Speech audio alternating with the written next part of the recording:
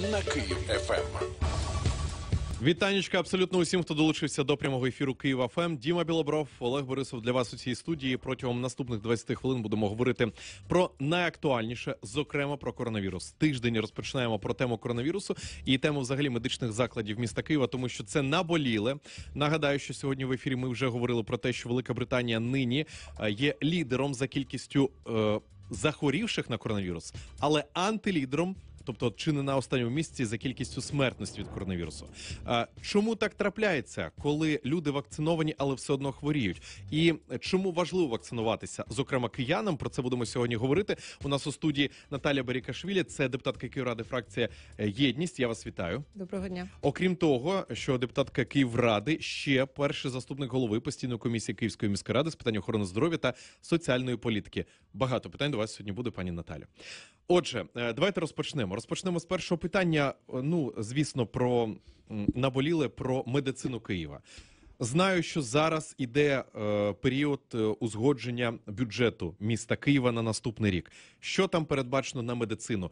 Щоб було більше зрозуміліше, якщо можна порівняння з минулим роком щодо бюджету. Будь ласка. В порівнянні навіть з минулими роками, е, з цього ми на минулому засіданні нашої постійної комісії прийняли зміни до бюджету і е, зміни до програми здоров'я киян. І вперше в цьому році у нас буде громадське здоров'я. Це абсолютно новий напрямок. Це програма, яка в своїй меті несе профілактичну медицину. Такого у нас раніше не було, і це в ключі реформи взагалі системи охорони здоров'я.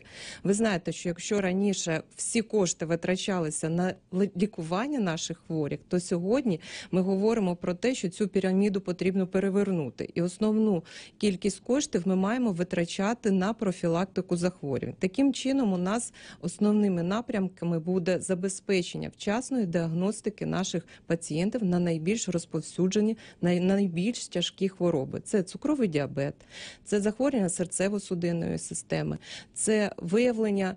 Е, Онкології на ранніх стадіях, тому я думаю, що ця програма абсолютно нова, вона потрібна людям. Напередодні того, як е, проголосувати за цю програму, я провела такі бесіди із громадськими об'єднаннями пацієнтськими, із нашими лікарями сімейної медицини, які ну насправді саме вони будуть е, виконувати цю програму. І вони всі говорили, що дійсно нам сьогодні в місті Києві потрібні саме ті те смужки, саме ті заходи, які чітко прописані в цій програмі. Разом з тим, здоров'я киян у нас незначно збільшилось. У нас збільшили видатки на комунальні, е, комунальні видатки. Це е, пов'язано з тим, що ми потребуємо ремонтів, ми потребуємо закупівлі нового обладнання. Е, Нова така строчка, яка у нас ніколи не була ще в здоров'я киян, це ремонт дороговартісного обладнання. Ви знаєте, що місто Київ в останні роки придбало достатньо багато сучасного обладнання. Це і ангіографи, це і сучасні мамографи. Сьогодні ми працюємо з надзвичайно знаєте серйозним, якісним Апарати ШВЛ. апарати ШВЛ, так, але я говорю про те, що ми не тільки закуповуємо це обладнання, встановлюємо їх в лікарні, але ще й місто виділяє кошти на те, щоб воно було е, відремонтоване для того, щоб воно працювало вчасно, тому що і МРТ, і КТ сьогодні е, наші мешканці міста Києва мають. Таку змогу зробити ці дороговартісні дослідження абсолютно безкоштовно за електронним направленням лікаря або лікаря з загальної практики сімейної медицини, або за направленням мужського спеціаліста. Але це тільки у державних закладах, правильно? А я б хотіла сказати, що деякі приватні заклади охорони здоров'я, які підписали договір з Національною службою здоров'я, вони теж можуть безкоштовно обстежувати наших пацієнтів. Скажіть, будь ласка, от ви вже зазначили про цю нову схему, так би мовити, давайте хвороби збивати ще на початку. Ми не будемо чекати, поки в людини буде повноцінна вже така розвинена хвороба. Ми будемо її зупиняти на перших, так би мовити, на перших етапах. А, наскільки ця програма є державною, наскільки вона є комунальною? В чому різниця? Чи є якісь непорозуміння з загальнодержавною медичною програмою і, і от київською? Так, да, я зрозуміла. Це загально а, державна в принципі, підхід, взагалі не тільки державний, а сучасний світовий підхід. Ну для чого ми робили реформу, яку ми сьогодні взагалі е, намагаємось втілити в наших закладах охорони здоров'я з 13-го року. З 13-го, я підчеркую, не з 20-го, не з 21-го, з 13-го року київські заклади первинної ланки, вони наші старі поліклініки, фактично, да, вони були розділені на дві частини. Це перша частина центри первинної медико-санітарної допомоги, і з 13-го року кияни вже укладали декларації сімейними лікарями. І друга частина це консультативно-діагностичні центри. А, наші стаціонари війшли в цю реформу дещо пізніше, приблизно в 2019 році. Стали теж комунальними некомерційними підприємствами. Ми всі уклали договори з Національною службою здоров'я. І Національна служба здоров'я, і вона і говорить, і держава говорить, і Міністерство охорони здоров'я. І ми всі з вами розуміємо, що профілактика захворювань є найбільш доцільною, доречною, ніж лікування захворювань в занедбаних випадках. Сьогодні я хочу, користуючись такою нагодою, звернутися до киян і сказати, що ви маєте можливість звернутися до лікарів, тому числі до акушерів-гінекологів, що мене найбільше хвилює, тому що я бачу цю статистику занедбаний раки шийки матки. Акушери-гінекологи навіть без направлення сімейного лікаря, ви просто приходите, вони вас оглядають, роблять вам цитологічний скринінг і встановлюють діагноз, беруть вас під нагляд. Сьогодні в місті Києві, вірніше, в минулому році було встановлено дороговартісне обладнання для е, скринінгу раку шийки матки на території п'ятого пологового будинку. Да, пологового будинку. І сьогодні це е, теж записано в нашу програму здоров'я киян, громадське здоров'я. Дозвольте спитати, це за рахунок Києва, чи все ж таки це платна послуга? А це буде увага, це безкоштовно. Перша Це дуже частина важливо. це оплата з Національної служби здоров'я, тобто з державного бюджету. Інша програма це громадське здоров'я, і Київ буде закуповувати ще додатково реагенти для того, щоб більш доцільно е, використовувати їх і зробити більше скринінгів е, у жінок. Разом з тим, в кожному консультативно-діагностичному центрі сьогодні встановлені мамографи. Тобто наші жінки, користуючись такою можливістю за направленням сімейного лікаря або знову ж будь-якого лікаря за електронним направленням, можуть відвідати консультативно-діагностичні центри і зробити мамографію. Це надзвичайно зараз важливо. Пані? Наталі, я абсолютно з вами погоджуюсь і дуже радію, тому що чую, справді, справді це таке роз, розвинення нашої нашої повсякденної повсякденної реальності, коли ми маємо таку можливість, і не і всі ми маємо можливість якось перевірити са- самі себе. Утім, якщо повертатися до більш нагальних проблем, до проблем коронавірусу, як саме е, новий підхід може допомогти тут, якщо ми фактично не можемо, людина не може на перших на перших етапах відчути, що вона захворіла на коронавірус, десь тиждень, можливо, буде йти інкубаційний період, можливо, довше, можливо, менше. Утім, знову ж таки, як у цій ситуації це допомагає в боротьбі з коронавірусом? Друзі, е, ситуація, я вважаю, в нашій країні катастрофічна щодо вакцинації. Лише 13% взагалі по нашій країні вакцинованих людей. 13. В місті Києві один із найкращих показників Е, по державі. Я постійно контролюю ці цифри. Вони надходять кожному члену нашої постійної комісії щодня, і ми бачимо кількість вакцинованих по регіонах і в місті Києві. Місто Київ більше 1 мільйона 700 тисяч вакцинованих людей Мається на увазі Увага. двома дозами, правильно? однією дозою. Однією. Да. Це приблизно 25% Менше, да. населення. Це дуже малі цифри. Дуже мені здається, що сьогодні доречно сказати, що, на мій погляд, девіз українців це а, слова Бродського: смерть це то, що буває з другими. Тобто, ми не можемо а, говорити про те, що українці і кияни чітко усвідомлюють а, всю. Весь страх цієї ситуації, незважаючи на те, що в кожних е, в кожній родині, в кожному домі були захворівши на коронавірусну інфекцію, ми собі дозволяємо ходити без масок в торговельних центрах, в кінотеатри, в заклади харчування. І я не розумію, де відповідальність кожного і де така, знаєте, групова відповідальність нашої держави. Де ці штрафи, де е, якісь такі більш жорсткі вимоги до нашого населення? Тому що Пані Наталі, ну я можу вам на це сказати, що от я дивлюсь, е, я кожного дня я за другу професію журналіст-міжнародник. Я кожного дня дивлюсь, наприклад, кадри з Австралії, які в нас чомусь не демонструють, коли поліція затримує і б'є фактично кийками людей, які не носять маски. Е, Це також ми не бачимо, наприклад. Е, Ми не бачимо масових заходів щодо, ну, наприклад, проти коронавірусних обмежень у Франції, а в Румунії, де 70% населення здається відмовляється вакцинуватися. Я б не сказав, що це тільки українська проблема. Питання в тому, що я категорично проти а, насилля, і я вважаю, що стимулювати населення можливо не лише знаком мінуса, да? ні в якому випадку а, не бити кійками таке інше, але можна і знак плюс. Це, наприклад, е, бізнес може якісь роздавати сертифікати, влада може надати якусь фінансову підтримку тим, хто вакцинувався. Нам потрібно змінювати свідомість громадян і пояснювати, що провакцинуватися це набагато дешевше для людини, ніж хворіти. Хворіти це досить небезпечно, це абсолютно небезпечно. А разом з тим, я хочу закцинувати закцентувати вашу увагу на тому, що ми додали до наших ковідних закладів ще й пологовий будинок, четвертий, тобто поступають вагітні. Які хворіють на коронавірусну хворобу, а також першу дитячу лікарню, тобто хворіють діти. І а, ми в змозі, кожен з нас, запобігти цьому. Якщо ми будемо вакциновані, у нас буде колективний імунітет. Я сьогодні не говорю, що це вибір кожного, це завдання кожного вакцинуватися. Тим більше, що місто Київ зробило все для того, щоб ви прийшли і вакцинувались. Уявіть, 120 мобільних бригад. Це найбільша кількість по Україні 120. Тобто, це лікар, як правило, медична сестра, дві медичні сестри і реєстратор.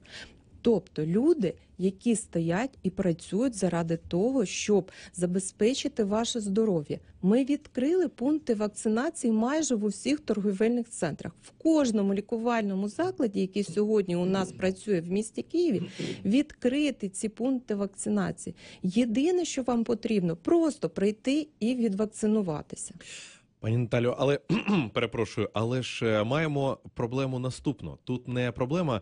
е, Ну, вакцин, наскільки я знаю, зараз достатньо. Недостатньо впевненості і довіри до вакцини, саме тих людей, які не хочуть принципово вакцинуватися. Е, Я серед своїх знайомих в останні там кілька тижнів, отак спілкуючись. У мене серед моїх знайомих знайомих є люди, які не хочуть вакцинуватися, і я їх повністю розумію. Це їх вибір, це їх право.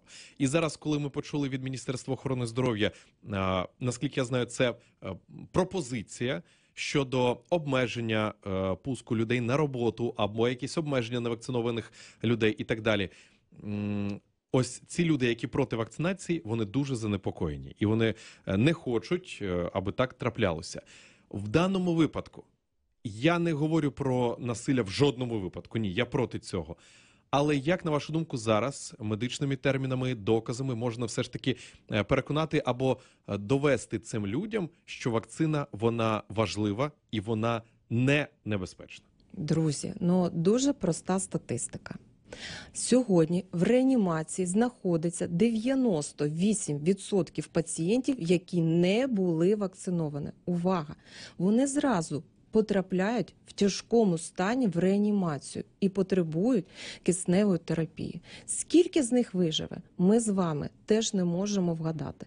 Адже сьогодні лікарі, вони просто ті, які працюють в червоній зоні, вони працюють героїчно, вони а, мають такі тяжкі умови праці, але разом з тим вони роблять все для того, щоб врятувати цих людей. Скажіть мені, будь ласка, а, чи вам це відомо? Чи вам відомо, що є навіть серед ваших знайомих ті, хто померли від коронавірусної хвороби? Я впевнена, що вони є. Чому відповідальність одні громадяни перекладають на свої плечі, вони вакцинуються заради того, щоб не хворіли їхні близькі, їхні родичі, їхні друзі, їхні діти, а інші собі дозволяють боятися. Чого боятися? От мене дивують от, е, інформація, яка надходить там в Фейсбуці чи в інших е, джерелах неперевірених. Вона досить дивна. Вона ж не доказова абсолютно. І коли ми читаємо або розповсюджуємо ці фейки, мені здається, що має бути навіть кримінальна відповідальність щодо недопущення до роботи. Я вважаю, що е, повторюю, держава мала прийняти таке рішення вже достатньо давно. Але разом з тим я відповідальність кожного громадянина теж підчеркую. Від, е, відверто я хочу бачити, що в магазинах. У нас всі стовідсотково носять маски. Я не розумію, чому відповідальний бізнес абсолютно в цьому плані безвідповідальний. Я не бачив безвідповідального бізнесу, чесно кажучи, жодного разу не бачив жодного магазину, куди можна зайти без маски. Я чесно не зустрічав. Я у дуже Києві. я от ці вихідні просто була вражена, і в мене такі негативні емоції щодо цього е, питання. Я бачила сім'ї, які ходять без масок, і мама, і тато, і діти вони розважаються їм е, весело. Але Ну, в масках разом давай, тим, давайте відверто. В масках дуже масках. важко розважатися. В масках взагалі хочеться лежати десь і нікуди не виходити. А можна, дихати от хочеться. дивіться, да, на дуже жаль, рідко. потім можна так розважитись без маски і лежати дивіться, довго під кисневим до, апаратом. до речі, от до цієї вашої тези. От ми тільки на сьогодні зранку бачили новину, що у Великій Британії, де здається 60 чи 70% відсотків вакцинованих населення, супер швидко вакцинували, і там пішла перша хвиля вниз. А зараз в них новий спалах коронавірусу. Що відбувається? Можете пояснити ці ситуації, коли супервакциновані країни раптом вони там бачать четверту, п'яту хвилю коронавірусу. Коронавірус він швидко мутує дуже швидко і постійно з'являються нові штами. Разом з тим, вакцинація ніхто не говорить, що вона захищає на 100%, але вона змушує наш імунітет працювати по-новому. І тому більшість людей, які вакциновані, якщо захворіли, вони хворіють в легкому ступені або в середньої тяжкості. Тяжких пацієнтів сьогодні в місті Києві вакцинованих ми не бачимо. Дивіться, у нас є питання від нашої слухачки. Пані Наталя Да. пише: «Э, вакцина имеет четкое определение. Почему-то называют ее экспериментальным аппаратом. Э, Називають вакциною. Людей вводять в заблуждення і називають своїми словами. Ну, це не питання, це коментар. Чи є репліка? Сьогодні дозволено екстрене використання певних препаратів в зв'язку з такою тяжкою ситуацією в взагалі в світі, і це світова тенденція. І за рішенням Всесвітньої організації охорони здоров'я, за рішенням, якщо в нашій країні, то це державний експертний центр, і проходить вакцинація чи залучення тих чи інших препаратів до протоколу лікування чи профілактики коронавірусної хвороби. У нас тут е, буквально та також вчора була новина про те, що Україна хоче зробити свою вакцину від коронавірусу. Міністр Ляшко про це повідомив. Наскільки, на вашу думку, це реально е, і наскільки це реально у 2022 році? Е, Я думаю, що у нас достатньо багато потужностей для того, щоб запустити виробництво цієї вакцини. Разом з тим, я впевнена, що нам потрібно було це робити ще в 19-20-х роках, коли тільки почалися розмови. Але разом з тим я бачу, що можливо. Почали в 19-му році, а вже сьогодні вийшли на фінішну пряму, коли зрозуміли, що дійсно е, достатньо кваліфікованих кадрів і достатньо е, ресурсів для того, щоб її запустити. Я цілком е, радію від того і підтримую таке рішення. Єдине, що я жалкую, що це достатньо пізно для нашої країни. Ще одне питання, дуже жвава тема. Я вам скажу. Оля нам Завжди. пише. Ольга пише. Вчора мені в перукарні влаштували терор. Ви тут вакциновані, ходите, хоч, е, ходите нас заражати, розумні такі. На моє питання, чому ж ви не вакцинуєтесь, мені відповіли. Нехай нам забезпечать ці аналізи і право, якщо є проти- протипоказання відмовитись від вашої вакцинації. Е, Ось таке повідомлення написала пані Оля. Чудово, протипокази лише одне це алергічна реакція, яка була в минулому. Для того, щоб вакцинуватися, не потрібні жодні додаткові аналізи. Це фейк, коли вас змушують здавати ПЛР-тести, імуноглобуліни G чи М. Ви маєте просто знати, що якщо ви перехворіли протягом 6 місяців, ви можете не вакцинуватися. Після 6 місяців вакцинуйтеся. Скільки вакцинуватися? Один раз, ще раз дві, дві дози, чи треба бустерна Поки доза? що у нас дозволена вакцинація двома дозами. Бустерної дози не Поки передбачається. навіть Всесвітня організація охорони здоров'я рекомендує не вакцинувати населення, навіть якщо там є вакцина, трьома дозами. Зрозуміти, що є.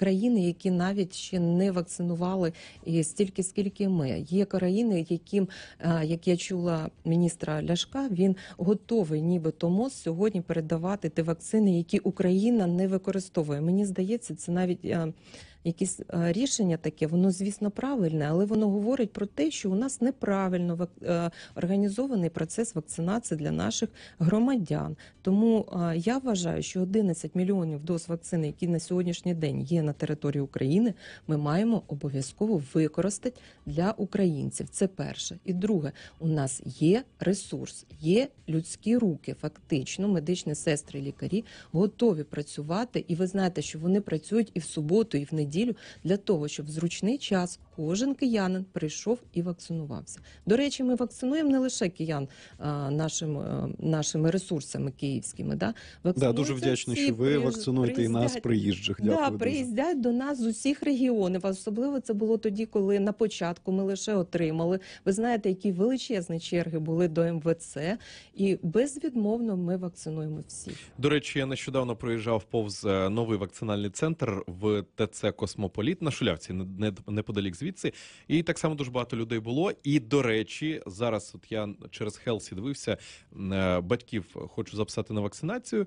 Е, І, до речі, вже на тиждень вперед е, забиті часи щодо вакцинації. Будемо сподіватися, Кияни що- молодці. Да, будемо сподіватися, що все ж таки всі вакцинуються, і ми цей новий рік зустрінемо без масочок, щоб всі наші посмішки бачили вже, а не приховувати їх за масками. Дякуємо вам, пані Наталю. Дуже слушні думки. Дякую, що відповіли на питання наших слухачів. Будемо раді вас бачити знову, тому що тема коронавірусу вона дуже актуальна і дуже І буде важлива. актуально ще довго. Ви правильно підмітили. Дуже важливо е, розрізняти, де фейк, а де реальність. Це дуже важливо. Дякуємо вам. Щиро дякую вам. Е, Наталя Берекашвілі, депутатка Київради, фракція єдність і перший заступник голови е, постійної комісії Київської міської ради з питань охорони здоров'я та соціальної політики, була гостем цієї години нашій студії. Є питання? Пишіть, будь ласка, на наш студійний вайбер. Ми збираємо усіх людей без фейків, без маніпуля... без маніпуляцій, а одразу з першого джерела. Вам даємо відповіді на усі ваші питання. 098 009 98 98 – це номер нашого вайбера. І так само, якщо я нагадую, вас цікавить, ви хочете дізнатись, де є вакцинальні пункти у Києві, де взагалі можна вакцинуватися онлайн. Якщо у вас є сертифікат е, з сімейним лікарем, е, перепрошую, декларація з сімейним лікарем. Якщо немає, всю цю інформацію ми вам надішлемо вам в особисті повідомлення. Тільки пишіть наш студійний вайбер 098 009 98 98. Будемо завершувати. Це Діма Білобров, Це Олег Борисов. і ми їдемо далі. Київ в голос.